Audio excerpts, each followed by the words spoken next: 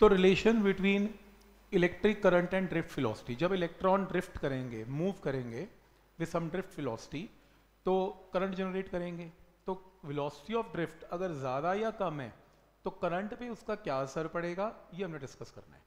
तो करंट और velocity of drift का रिलेशन निकालेंगे तो लेटर सपोज़ ये जो लेंथ ऑफ़ द कंडक्टर है, मान लेते हैं लेंथ ऑफ़ द कंडक्टर कितनी है? एल है। ठीक है? एल है। तो इसके अंदर और एरिया ऑफ़ क्रॉस सेक्शन इसका जो एरिया ऑफ़ क्रॉस सेक्शन है, वो ए है। तो area of cross section A है। ठीक है यहाँ तक? तो इसके अंदर सबसे पहली चीज़ ये कि कोई भी इलेक्ट्रॉन कैसे मूव करेगा opposite to the applied electric field और किस वेलोसिटी से मूव करेगा? वेलोसिटी ऑफ़ ड्रिफ्ट से। मान लो एक इलेक्ट्रॉन यहाँ से यहाँ आता है।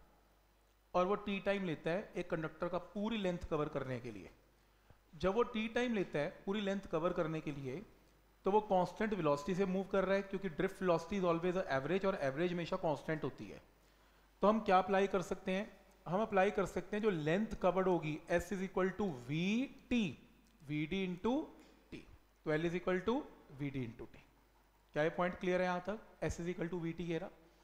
अब मुझे ये पता है कि जो वॉल्यूम है वॉल्यूम ऑफ़ अ कंडक्टर क्या होता है? Area of cross section into length area कितना इसमें है? ए और लेंथ कितनी है?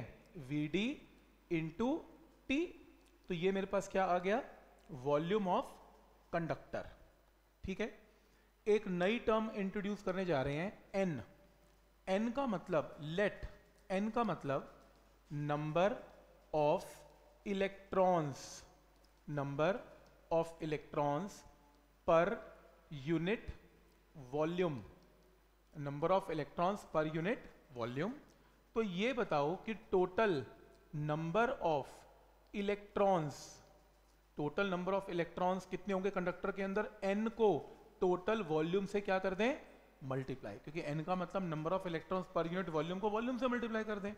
तो इसके अंदर एन इंटू वॉल्यूम क्या है? A into V D into कितना टी ये क्या आ गया मेरे पास? नंबर ऑफ़ इलेक्ट्रॉन्स क्या स्टेप क्लियर है? अब एक चीज़ देखो आपके पास ये नंबर ऑफ़ इलेक्ट्रॉन्स आ गए। अब ये बताओ कि टोटल चार्ज की वैल्यू क्या होगी? एक इलेक्ट्रॉन पे चार्ज क्या होता है? ई e, हमारे पास कितने इलेक्ट्रॉन्स हैं?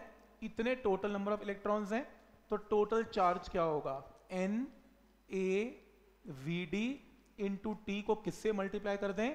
ई e से। तो टोटल नंबर ऑफ़ इलेक्ट्रॉन्स को एक इलेक्ट्रॉन के चार्ज से मल्टीप्लाई कर दिया तो क्या आ गया? टोटल नंबर ऑफ़ चार्ज आ गया। टोटल चार्ज को किससे रिप्रेजेंट करते हैं? Q N A V D into T into E क्या ये पॉइंट क्लियर है यहाँ तक? कोई डाउट इसमें। तो आपके पास टोटल चार्ज क्या आ गया? नंबर ऑफ़ इलेक्ट्रॉन्स ये रहे। नंबर ऑफ़ इलेक्ट्रॉन्स टोटल ये रहे। इसको ई e से मल्टीप्लाई किया तो क्या आ गया? चार्ज आ गया। अब Q आ गया, T आ गया। एक काम करो, Q और T को डिवाइड कर दो। ये रहा T, ये रहा Q तो आपके पास क्या बचेगा? N, A, V, D into E ये बचेगा। और आप फाइनली क्या कर सकते हो? इसको लिख सकते हो current N, A, V, D into E तो V, D की वैल्यू आ गई I by N, A E ये फॉर्मूला फॉर्मूला रजिस्टर में एंटर करो। I Vd is equal to I by Na where N is number of electrons per unit volume. Clear है यहाँ तक तो ये फॉर्मूला रजिस्टर में नोट करो इंपॉर्टेंट फॉर्मूला और काफ़ी यूज़ भी होता है ये